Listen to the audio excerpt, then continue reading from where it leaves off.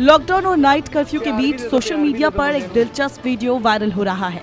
दरअसल, ये video IPS अफसर दीपांशु काबरा ने 11 मई को ट्विटर पर शेयर किया।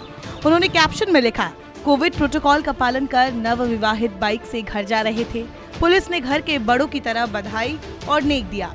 खाकी की तरफ़ से खूबसूरत जेस्टर इसी में आगे आईपीएस ने लिखा कि ये वीडियो शायद पंजाब का है? ਤੂੰ ਬੁਲਟ ਤੇ ਲੈ ਕੇ ਚੱਲਾਂ ਬੜਾ ਵਧੀਆ ਲੱਗਾ ਵੇਖ ਕੇ